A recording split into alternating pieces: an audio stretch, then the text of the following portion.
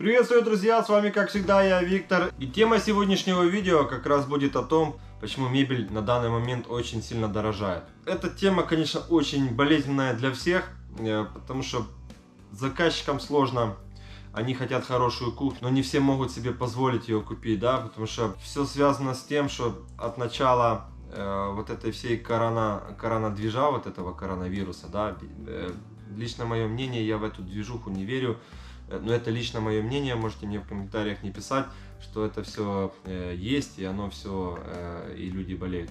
Но тема не об этом. Вот, от начала вот этого всего э, движа с, корона, с коронавирусом, скажем так, э, начали сильно подниматься материалы. Почему? Потому что начали закрывать фабрики на локдауны, на карантины, да, там завод Эйгер, завод Кранашпана, завод Белюм. Все, скажем так, гиганты в мебельной индустрии, они закрывались там на определенное время, то есть они не работали. Плюс поставки с Китая.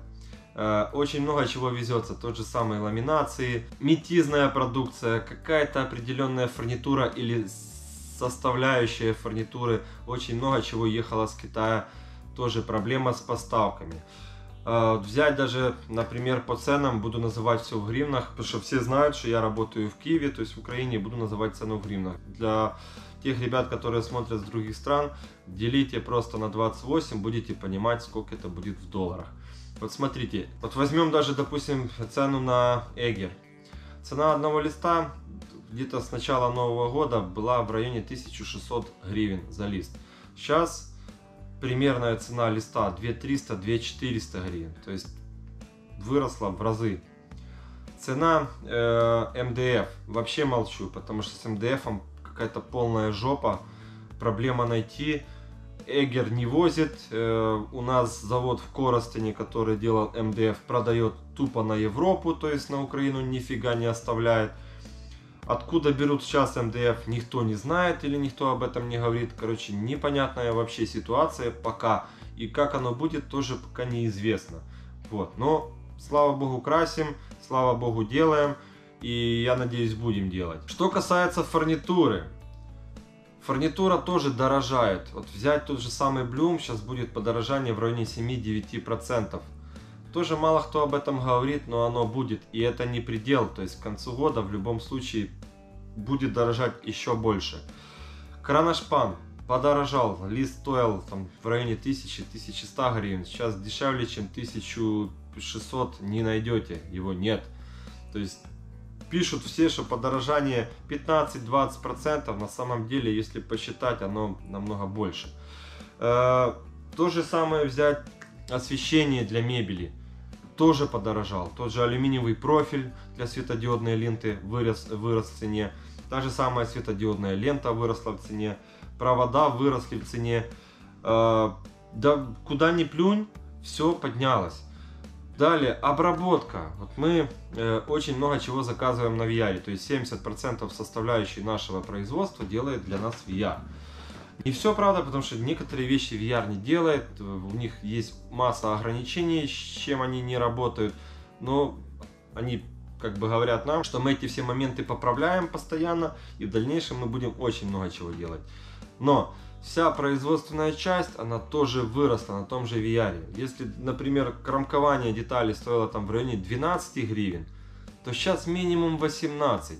Это мы говорим за обычную кромку, то есть белым или прозрачным клеем, но в основном белым кромкуем.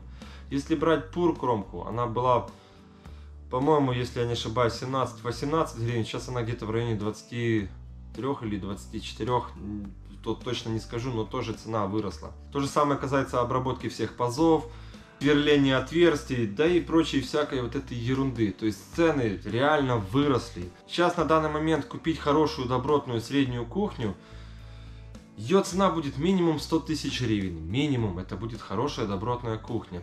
С хорошей присадкой, с хорошей работой, с хорошей фурнитурой. Я не говорю там за ручную присадку. Э, можно сэкономить да, на этом. Можно где-то кромку не поклеить можно очень много чего сделать, чтобы немножко удешевить этот самый продукт.